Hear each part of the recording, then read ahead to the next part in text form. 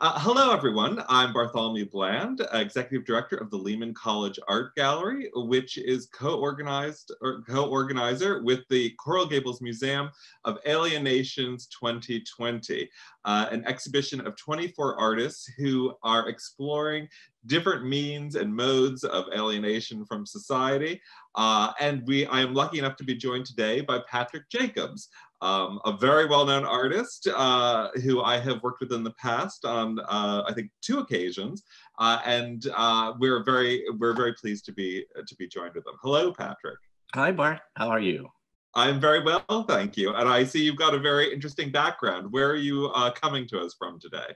Uh, this is the um, so I'm talking to you from my studio. In the background is some printmaking materials. Looks like there's a there's a an etching press, Charles Brand etching press, and you can see the inks and stuff.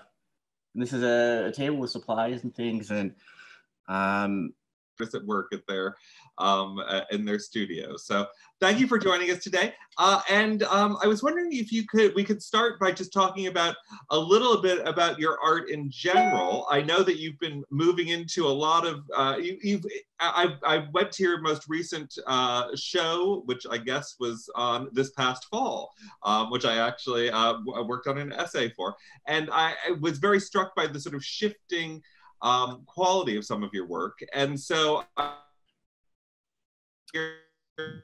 pandemic may have shifted your work um, in the past 10 months. Yeah, that's right. So my work generally has to do with issues surrounding landscape for the most part. Traditionally, uh, I've been been doing for about 20 years now. So actually, since I, I graduated uh, from grad school, uh, and I started working on dioramas, sort of miniature landscapes that are sort of viewed through uh, uh, sort of a, a, window of glass lenses. Um, that's something I've been working on and developing, and that's evolved over time. They used to be very specific and then became more imaginative.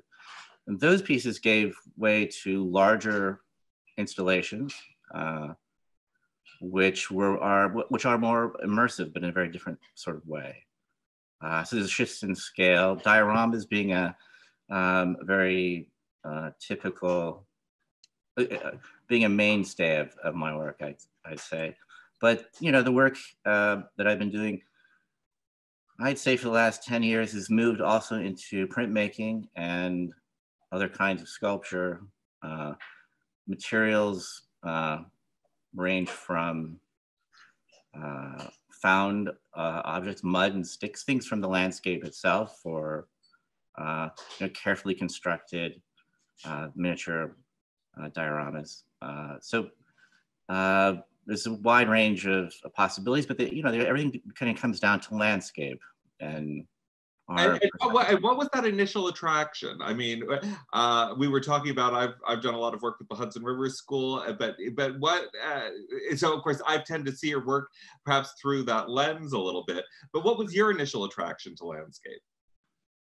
Well, that's a good question. I guess when I was in school, I think it was a very basic idea of uh, our perception of, of nature, the ideal landscape. Uh, uh, as a sort of a cultural cons- uh, construct. So, um, and then I was more interested in um, the things. That you, are, you, are, you, are you thinking about like the sort of nationalism of landscape or the political uh, contesting for resources? Were those the sorts of things that were drawing you to it? No, I think environmental concerns and in politics, politics has been become much more important for me over time. But initially, it was really more about um, in, a, in, a, loose sort of sense identity and sense of um, you know what in a landscape belongs what's natural what what is nature what is natural what is what do we what are our concepts of what is right what is beautiful what what fits into um, the paradigm of what of of nature in uh, uh, for us is that sort of thinking about like what is sympathetic on the landscape uh, in a in a kind of design sort of way, the way you would sort of think about an 18th century garden, or is it more about um, what's jarring on the landscape? All right. So what what I was uh, initially drawn to, and this is going to sound a little odd, but I think it's gets right to what you're talking about, and that it was uh, pest control, essentially. So in a in a garden or in the home, uh, these are cons- these are settings, you know, that are controlled. Uh, they have a um, uh, they they should conform to our idea of what is is normal, right? So uh, you can't have insects or weeds, uh, uh, pests sort of invading those those worlds or spaces, and and so initially I was just looking at pest control manuals for the most part is where do you apply pest, pesticides and chemicals to eradicate pests so you can maintain a beautiful and perfect garden or a, a beautiful, safe, and ideal home. Uh, and those spaces, those images in these manuals became sort of uh, the thing that I wanted to recreate. So they were very banal, very uh, uninteresting in a sense, was sort of here's a garden, and this is how you apply a pesticide in this particular corner of the garden. And so that became a setting, a setting for a diorama, a sort of a scene that was meticulously constructed uh, to look exactly like that, but in miniature. But do you think, I mean, and when you're talking about the pesticides and creating the perfect garden, I mean, is this the idea that there's a kind of ruthlessness or poisoned quality to any kind of perfection? That there's, uh, I mean, to me, that's always sort of when you think about perfection, is it demands either a kind of refusal or negation of something to sort of clarify and purify the idea, the artwork, the thought down to something. And there's, to me, always it strikes me a bit of ruthlessness about that. Oh, absolutely. Um, yeah. I mean, I, to me, I was, I was interested in even the idea of more what, what is, um, yeah, there is a ruthlessness to it and, and um, an insidious sort of quality to it. But where is it coming from? Is it coming from the insects that are burrowing into the garden, or is it is it our own? Is it our own sort of um, uh, attempt to master and, uh, the environment and, and, poison it to the point that it becomes acceptable. But then we're sort of destroying it in the same way. So um, it gets back a little bit to that notion of what's a weed, which is, I guess, anything exactly. that doesn't well, belong there, right? That's and the, so, so many of those early dioramas I was constructed, the the uh, I was constructing the the uh, subject matter front and center is usually, well, many times a weed a dandelion set within a beautiful, uh, idealized landscape. A kind of beautiful frame, as it were, for the. Uh... Yeah, with winding rivers and beautiful mountains and uh, copses of trees and things in the background. Well, I thought it was very interesting. You mentioned that this early on, when you were doing this work, you were interested in the idea of pests and pesticide. And that kind of leads very naturally to the work that you have in Alien Nations 2020, which is very much in um, the mode that you're best known for in I, i.e. one of these keyhole uh, pieces. Uh, but the piece, which is called Raked Leaves Apparition, um, uh, it very much perhaps could use some pesticide, pesticide because in the figure, uh, the image, um, there is a, a, a, almost sort of monstrous or perhaps friendly creature that's emerging um, uh, out of the uh, forest floor. Uh, that is. I, I was what I was wondering if maybe there's so many pesticides that it, you know that things are just on on steroids. They're sort of gone. They've gone crazy. I don't. I don't they, know. That's interesting idea that they yes that the uh, weeds are going to fight back in some sort of uh, uh, dangerous. yeah, dangerous. some genetic code was disturbed and they just went crazy. I, I don't. I don't know. Hmm. Do you think this? Do you think that this sort of relates to the idea of being alienated? Were you is there a, a, sense of alienation in some of your works? Because when you know, I will be very frank. The first I can remember the first time I saw one of your keyhole pieces, um, uh, which is going back a number of years ago uh, in a gallery, and being utterly delighted by it, and not really seeing that darker undertone that you described a little bit to us here, and I know has become perhaps more overt um, in uh, some of your later work as it's uh, as it's moved along um, with do you think that's a valid thought, or yeah. do you think you're more willing to? Well, I think that's I think that's right. I think initially the the uh, the concern of mine was to draw you in, and and to say uh, to lure you in, and uh, with something attractive, and then in some way, sort of you're trapped, you know, and then pull the rug out from under you in a way. But it's very subtle. Yeah, the artist is Venus flytrap. Is that what you're? Uh... That's right. It's a beautiful, a beautiful uh, Venus flytrap, I guess. have you ever had one of those sort of uh, uh, cannibalistic plants in one of your? Uh, yes. oh, have... you, in one of the pieces. Yeah. Uh, literally or um, recreated recreated uh, i mean have you uh, i mean have you I, I, that hasn't been one of the flowers that you've done or one of we, the plants maybe that's an idea for a new piece i mean initially i think the the the, the flora were more mundane and more everyday uh, yeah. less exotic and more typical uh, yeah.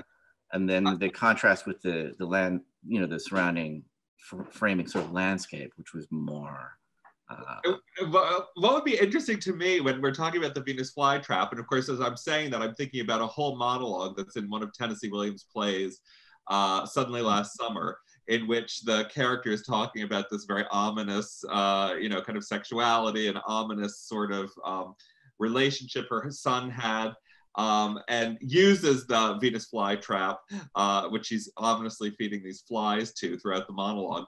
But it, it, as I was thinking about that, I was thinking that I know that you um, spent part of your growing up in Florida, uh, up in North Florida, I believe, since we're doing this for our, our Miami-centric uh, Coral Gables audience. Um, but no. but what I notice is that I don't think of, when I think of your work, I've seen swamps, I've seen things that are very much of a Hudson River School, more temperate climate. I don't recall seeing sort of jungle foliage or that kind of fetid, uh, tropical, uh, overtly tropical scene. Is that true, or? I think that's I think that's right. I uh, I've I've created a lot of different kinds of landscapes, not and there's not that there's any reason not for doing that. It's just uh, um, I think the landscapes earlier on were defined I think more by art history than anything. And that, that what I mean to say is uh, Northern Renaissance type painting or, or 19th century um, Hudson River School type uh, scenes or uh, settings. And then gradually, well, it, it, that's right. And then I think gradually uh, they've moved around depending on what it, what it was I was sort of interested in. I, I think more recently I discovered the the marshy swamps and and things as, as, a great way of. I mean, there's certain devices that I can employ with that sort of setting um, that are nice. There's water that's uh, reflective of light. The nocturnes. That, nocturnes. The, well, exactly. The, the nocturnes a lot of the nocturnes were swampy sort of settings or um, sunken marshes or the edges of rivers and things like that. So um, the moon reflecting off the moonlight reflecting off of the water has always been very very important. Um, uh, and so, but I mean, I you know, not too long ago I did an Arctic scene actually mm-hmm. for a it was a commission for a for the National Geographic has this. Uh, um, uh, ship that's called the Explorer that they're launching from Norway, and they needed a, a piece uh, that reflected Arctic environmental issues. And, and at first I was a little bit uh, not sure what to do, but um, I discovered that uh, the permafrost in Russia, Siberia, in, uh, nor- in northern uh, hemisphere is sort of melting away, and it creates these sort of marshy Arctic mm. um, uh, landscapes that are really strange and surreal and, and beautiful and, and scary at the same time. Scary now, because this, was this installed at their headquarters or actually on the ship?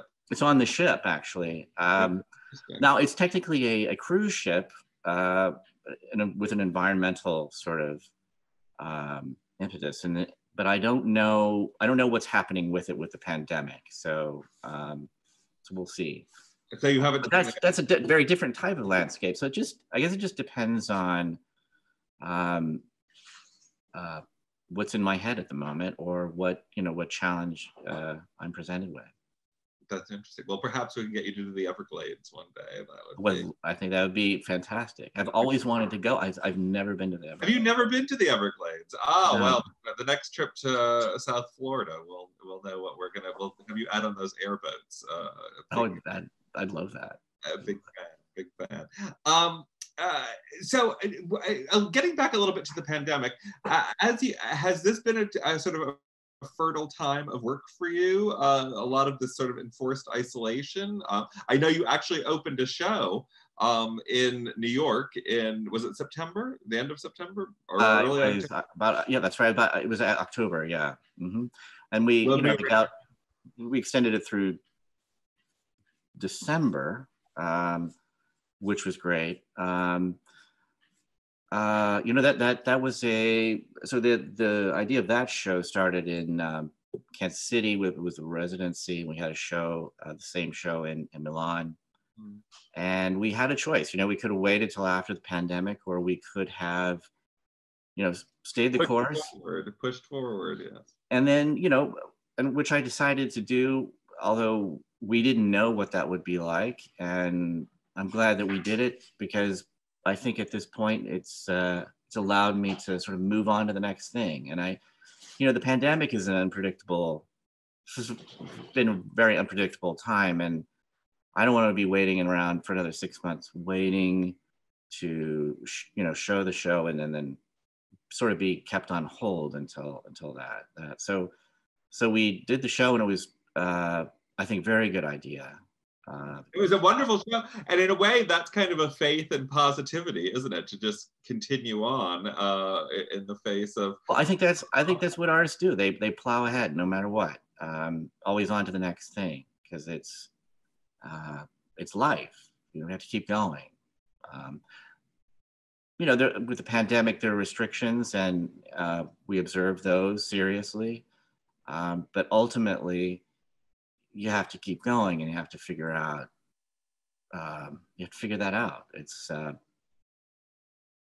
it's just what that's how I look at life. That's how I look at my art. It's it's it doesn't you don't really put it on hold. It just keeps going. So well, there's a yes. I mean, I I've noticed um, in our conversations. I mean, you have what I think of is a hallmark I've seen in every successful artist, which is just kind of it, it's really sort of uh, a, will and uh, sort of uh, the will to keep moving forward in uh, with, without being um, distracted by sometimes the things that seem very important, but a refusal to sort of uh, leave that path and to keep moving forward is uh, yeah. is a, a, trademark and personality of, of all of the artists I've worked with who've had you know uh, a degree of maturation, you should say, if not uh, necessarily the biggest commercial success. They, that that's the yeah. that's the defining hallmark. So um, it's interesting. Would you think of yourself as a do you think of yourself as a solitary person? Because let's talk a little bit about how um, your works are actually uh, actually hmm. made.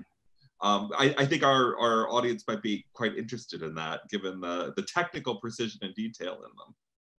So, uh, so for, for the piece, for example, in, in the show a- Alienation, uh, it's a you know it's one of the dioramas that's viewed through uh, uh, that's actually a biconcave lens. It's a it just reduces things slightly. So as you pull objects further away from the from the lens, they look a little bit smaller. It's not a I think we're most used to like convex sort of enlarging lenses or magnifying lenses that make things larger. Mm-hmm. So th- so this together with uh, foreshortening and uh, the use of color and light, you you know you can create the illusion of some distance there, a greater distance than actually is. Um, but the the scenes are um, in this particular piece. The uh, it's a meticulous process. It's I work with brushes and tweezers and um, over a period of time and I develop a, a scene. Um, generally, I'll start with an idea, uh, but it may change as I as I begin uh, to work on it. Um, everything is artificial paper, plastic, uh, paint, glue, clay, um, LED lights, and uh, that sort of thing. It's just a matter of taking all these materials and sort of massaging them into over time into a scene that that comes to life at some point and it very much seems uh, you know there's the, the element of stagecraft um, is uh, you know that relationship to the idea of the back of house the back of the stage even the um, the shape of uh, your background sort of remind me of kind of a proscenium arch or uh, you, you, know the Hollywood Bowl or something. The way that they're curved and the lights are behind it. Now, yeah.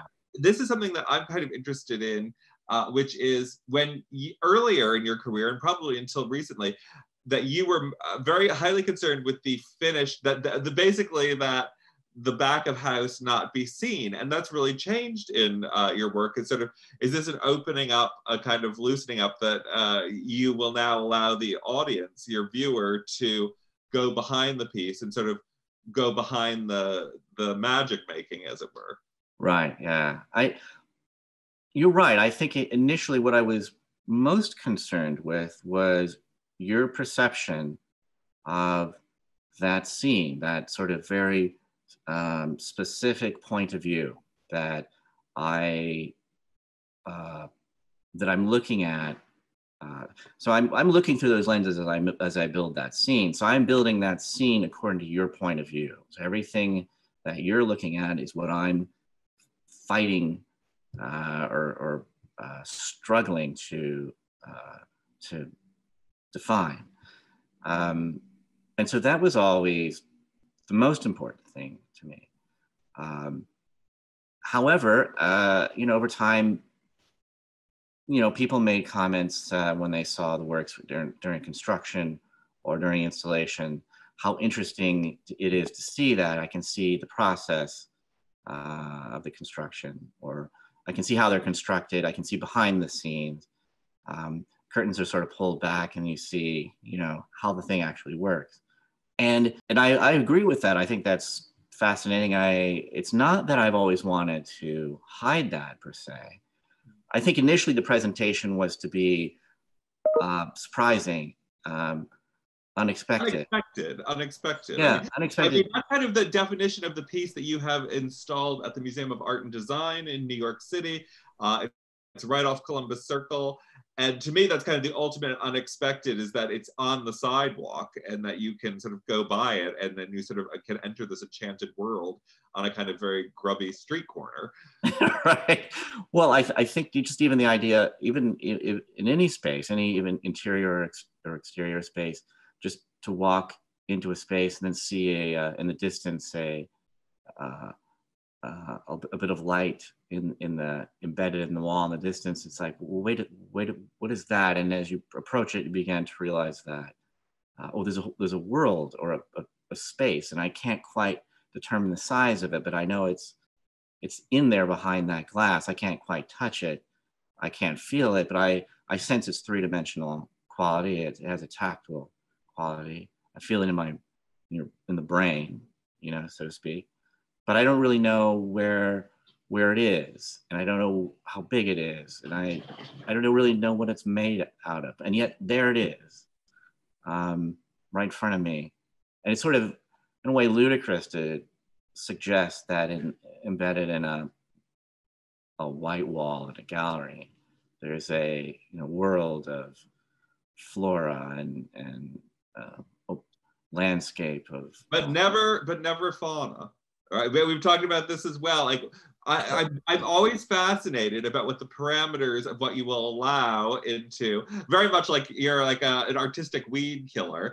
Uh, the uh, what, well, what, what is permitted to go into the thing? And, and, one of the things we're talking about is I've, you know, you, you certainly have had nests and eggs, uh, the sort of promise of life, and that certainly has um, um, uh, precedent in a lot of historical landscape painting. But but I know you will not see a bird or a snake. You'll see a, perhaps a shell. A shell would be allowed to go in. Uh, that would be fine, or maybe some tracks. Some uh, some tracks of, of an animal that had come through. Sometimes some scat. You'll you'll see some uh-huh. droppings of a of a uh, of an animal. So you see the the remnants or the um, uh, byproducts of of life um, promise of life in the egg, right? That's in the, the uh, egg, or yeah, exactly.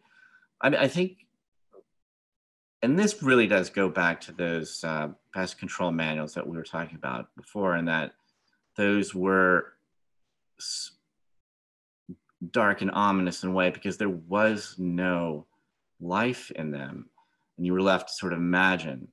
Uh, what could be there lurking under the floorboards or digging away under the, under the roots of those plants in your garden. Um, you didn't see them, but you could perceive them. And this. I was going to say, I was also very interested in the idea, I mean, that you won't have a bird or yes. a, a person because you don't want the stillness to become artificial. Is that I was right? building I mean, up to that. I'm sorry.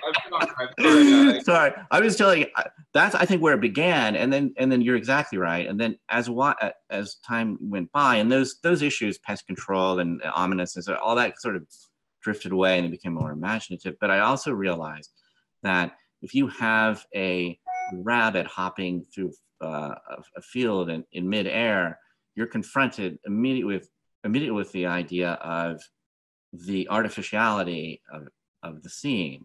You you're made aware that this is just a, a something that's frozen in time, and you're not really allowed. It prevents you, at least in my mind, from entering that space and feeling in that moment that it really exists in some way um, in real time. Now, if there's a rabbit in midair, then you're not going. It's you're, you're that option is eliminated in my mind. Right. Um, now that's not the ability to enter the scene. To enter the scene psychologically, metaphysically, or yes, sort of, sort of transport, to be, be transported into another space in real time um, is not going to happen. I think if um, there is a person on a bike and they're you know frozen there.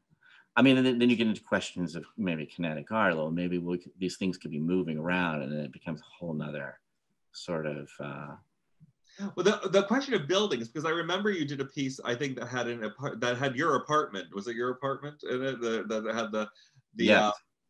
uh, uh, the floor, the the fire escape, and yep, it was an empty, right. It was an empty room. But I haven't seen you repeat that very often. I mean, did you edge away from that as a as an idea of the sort of the structures coming into these uh, these landscapes? Uh, the um, I have not done that many of those. That's that's correct, and um, that that series was um, that in a way that does harken back to those pest controls. They were interior um, images um, that I was recreating. And so from very early on, I did do interior uh, scenes.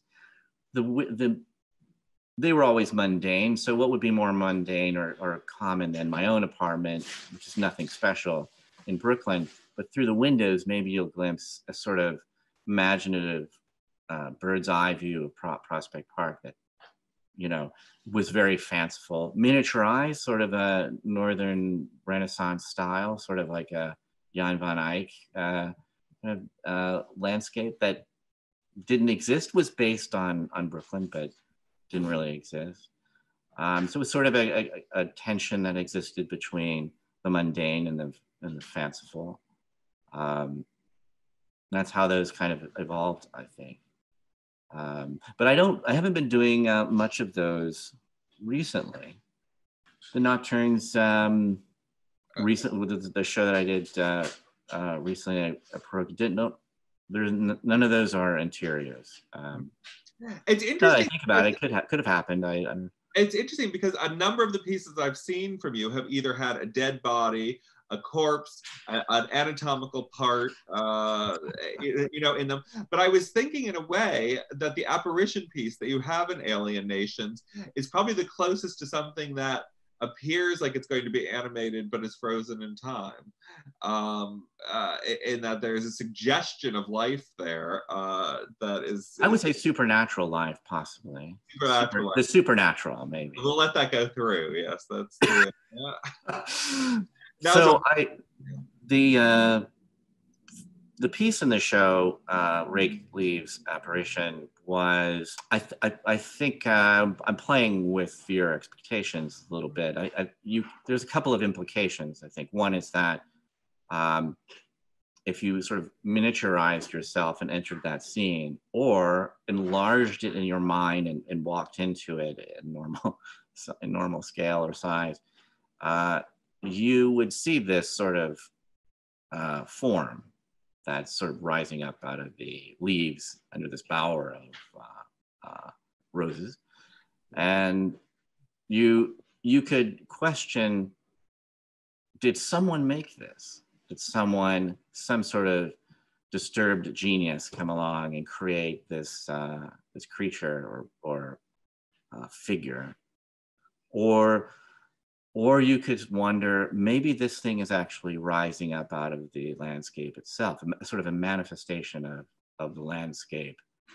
Um, Formation landscape of an ancient druid kind of a thing, or uh, or the super the supernatural in and of itself, or or even the landscape.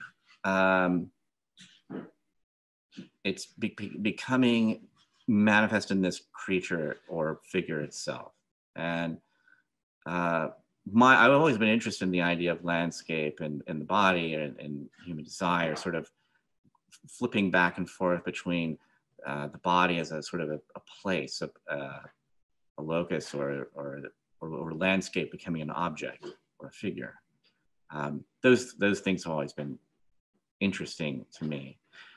I, you know, the thing is smiling in a way, maybe, uh, or shrieking I don't know. I always thought it was like a rictus grimace, you know. Uh, exactly. Yeah. So I mean, and that's maybe in a way dark, and but you we're sort of the scene is sort of um, framed with this sort of delicate uh, rose flowers and um, beautiful landscape. Yes, the rose, the rose is a sort of, in a way, it kind of throws you off guard. You see like a bower of, of very pretty roses, and it takes a while um, yeah. you, you did another piece I saw in your studio when we were looking at works for the show. And I remember uh, it had quite obviously, it looked like either a murdered body, it was a skeleton, it was a large piece. Yeah. And I did not, I, I, you know, it's one of those things uh, where once you, if you haven't seen it, you're just completely, you don't see it in the work. And then when you yeah. do, uh, I had looked at it for quite a, some time. I w- it was shocking to sort of see that emerge suddenly um, uh, from the uh, I, because I think because it was so unexpected, and that yeah. particular piece had a lot of very beautiful poppies in it, and I was sort of thinking about the the flowers and the color contrasts, which were very vibrant in that piece, and the and the lime green background of the piece, and to sort of have that sort of come to the fore was really uh, it gave me quite a start. I remember. Well, I think that's I think that's right. I think there's that that tension that it that um, I find pretty exciting to engage with uh, that exists between um, the gruesome or the dark and the the pretty or the beautiful in a, in a sort of traditional sense, right? Mm. So the we all work very hard to make the most delicate and, and pretty, beautiful flowers with many uh, colors. Um, and yet uh, somehow that has to be undercut. Uh, or lemon in some way, right? There's a... Exactly, and I, I mean, to me, that tension is is fun and engaging. It keeps you there. If it's just beautiful flowers, then okay, it's beautiful flowers. Let's move on. Um, or if it's just a dead body, okay, well, that's kind of dark and weird, and uh, all right, let's keep moving. You know. Um, but if if I can incorporate the two or blend them in such a way or marry them in, in such a way that uh, that heightens the tension, that doesn't let you escape in one way or another to, to, to, to draw an easy conclusion and then and then move on, then if I just hold you there for a little longer, then um, I'm happy. That reminds me very much of that French concept where I can't remember how to translate now, the beautiful ugly. Um, oh yeah which is oftentimes I think turned term towards people. Uh, yes, you know, that's right. Yes, grotesque and yet they're sort of fascinating in their own way, and that that sort of recalled that a little bit uh, of the gorgeous and the and the ominous. Um, I see one of your many studio assistants back there, uh, right behind you. Oh yeah, that was Ben. ben is uh, so a lot of this work has come back from uh, Pierogi uh, oh. over the holidays, and while we sold a lot of things, thank God, which is amazing and wonderful, uh, that work has to be prepared to be shipped. But the other things that didn't sell, there was a lot of work uh, that has to be reorganized and stored. And uh, um, and so my, Ben is uh, has been uh, so incredibly helpful at getting that done. So That's wonderful. That's it's important. I always think to have a, a clean studio. So when you walk in, it's like let's make something. But if there's like mounds of stuff everywhere, it's like ah. Where do you keep little bits of visual inspiration? Do you get little bits of? I mean, do you have uh, in some of those neat drawers? Do you have file, you know, clippings of things that you're interested in? Because I'm always interested in uh, for the curatorial work. There's always just mounds of ideas, some of them go back 10 or 15 years, that could be pulled Yeah. out any time, and it's always sort of a struggle to sort of keep that in any sort of cohesive order. Oh, I yes, yeah. I I, I have sketchbooks and I uh, put things in those. I'm always um, drawing ideas, sketching things down. Um, it's it's great, you know, when I'm in the subway on the way to the to the studio. It's a good time for that. Or traveling somewhere. Um, I mean, uh, the the figure in the uh, raked leaves apparition in, in the in the exhibition uh, was a came out of a series of sketches I did. I think on a flight to Florida uh, uh, and, and back uh, for another reason, but uh, um, sometimes sketches and things are really important. The the idea or the shape of things come out of those things. Um, sometimes it's just the internet images or, or books. Uh, uh, a lot of internet internet images.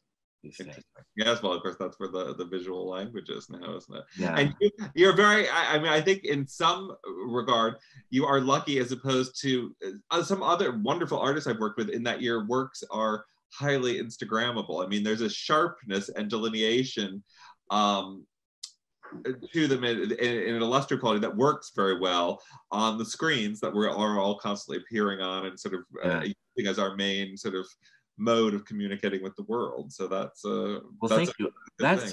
that is a challenge. I mean, th- these particular pieces and uh, the dioramas, like the show, the piece in the show, um, those are difficult to photograph. Mm. Uh, that take, takes a lot of time because you have um, uh, there's depth. There's you're you're shooting through a lens, a camera lens, and then into another series of through another series of lenses. A bit of depth that's not natural because you they're backlit, so the light is coming uh, at you uh, through the through the piece. Uh, but you have light outside of the piece. So it's, it requires a series of um, photographing it in a, uh, multiple times and then sort of blending that together in Photoshop. And the idea is just to try to get in that image the crisp, the most crisp representation of the piece of a two of a three dimensional piece in a, in a two dimensional format, um, which is not easy. Um, It's not. It's so, it so I'm glad that they work. You're doing, you're doing a very good job. You're doing a very good job. Thank you, Bart. Um, uh, I, I will I will leave you with a, a, a parting shot. Uh, not a parting shot. That's not the right word, but uh, a question. Fire away, fire away. which is like where do you where are you going where do you go from here uh, the vaccine is on the horizon uh, I, I should tell you uh, i should tell our audience we are talking uh, at about 11.30 in the morning on inauguration day so That's right. uh, a Did you new schedule that on purpose? uh, a new era is beginning um, and, and where do you see your work going what what do you see what do you see happening for 2021 That's a great question. Um, um, I right now we're, we're I'm looking at caves right, right now, and the, this presents uh, it's it's very specific. It's very sort of tight um, scenario or um, body of work. I think uh, the Nocturnes was very broad, Hmm. and I think we were all over the place for a while, which was wonderful. Um, but I think caves, and and I'll, I'll this needs to be refined exactly, but this presents a lot of options uh, from large scale installations um, that are more immersive uh, to smaller pieces in the, the traditional format of the diorama. Very different kinds of materials, though, some ex- in colors, Hmm. um, as well as prints and drawings and s- smaller bronzes and um ceramics. So, um, and I, I I'm very excited about it. That's uh, we've already started some things. We're not as far along as I'd like to be, but uh, you um, never that's are. the next. Uh, never are really. you Never done. So that's what we're that's what we're doing next. Wonderful. Well, I wish you a very fruitful uh, 2021 and uh, wonderful sort of artistic productivity. Thank you, Ar- thank you, Bart. Thank you very much. Thank you, Patrick. Thank you for talking to us today. Thank you. Bye bye. Bye.